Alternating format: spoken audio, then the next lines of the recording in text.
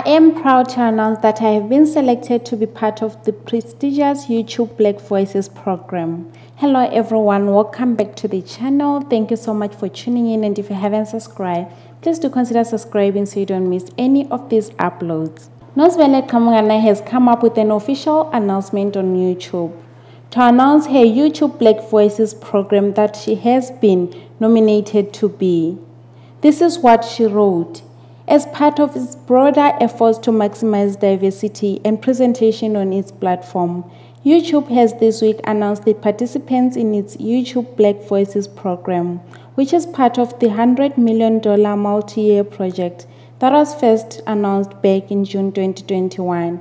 The highly contested annual list recognizes original YouTube content creator from various genres, including art, finance, business, comedy, education, health, and wellness.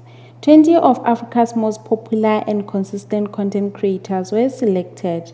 These creators are part of 135 creators from across the world participating in the class of 2022. I am proud to be part of the 10 content creators leading to the South African cohort.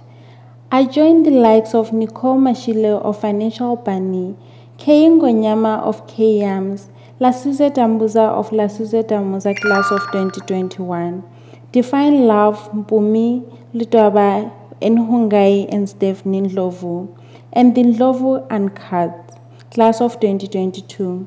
The program will provide support and funding to help participants grow their YouTube channels, as well as content development assistance and advice.